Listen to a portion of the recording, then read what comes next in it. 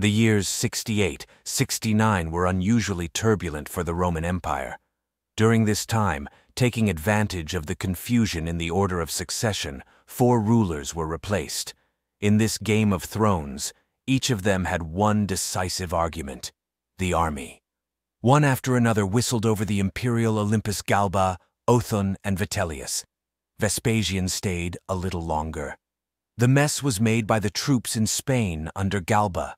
He spoke out against the then ruling Nero, who delivered the Senate with its highest slackness.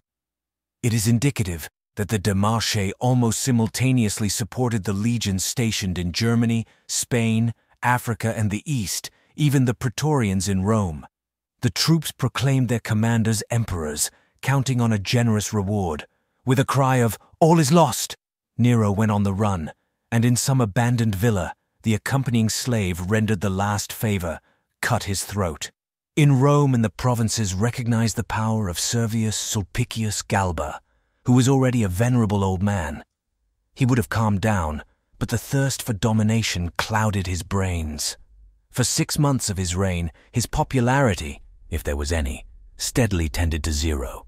He did absolutely everything wrong, awarded unworthy, punished distinguished, did not thank the legionaries who supported him, and showed just outrageous avarice. At the feasts, served only vegetables, and all presented earlier Nero took away. At the same time, very reverently treated the display of honors to his person. If the attention given to Servius Sulpicius seemed insufficient, he punished entire cities, robbing and killing the inhabitants, and once ordered the slaughter of several thousand sailors of the navy just because they wanted to become legionaries. Thus Galba turned everyone against him, and his overthrow was a matter of a short time. Finally abandoned by everyone, he was stabbed to death in the Forum by soldiers of the 16th Legion. It was the first emperor killed by ordinary legionaries. The murder, as in the theater, watched the crowd of citizens gathered nearby.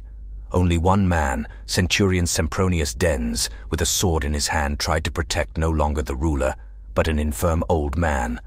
Soldiers cut off the corpse's head and, putting it on a spear, carried around Rome, singing victory songs just as they were his and extolled. The role and rule of Galba historians assess differently, but all agree on one thing. A precedent was set. The people and the army realized that the emperor can become not only in Rome, now almost every legion wanted their commander to stand at the head of the state, and the common people responded by nominating their candidates. There was a string of false Nero,